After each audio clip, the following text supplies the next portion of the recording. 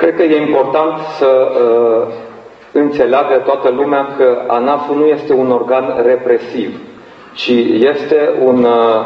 partener și trebuie să fie un partener al mediului de uh, afaceri, un partener care acționează pe baza unor reguli foarte clare, uh, reguli care sunt stabilite de uh, legiuitor. Deci, în primul rând, faptul că ANAF-ul aplică legea uh, și o aplică având la capătul firului oameni Uh, care sunteți dumneavoastră și care sunteți în contact cu uh, mediul de afaceri.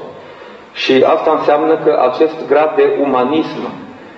sau de umanitate corelat cu fermitate în uh, aplicarea legii ar trebui să întărească încrederea în uh, instituția dumneavoastră și să uh, ducă la dezvoltarea acestui parteneriat care uh, se dezvoltă cu mediul de uh, afaceri.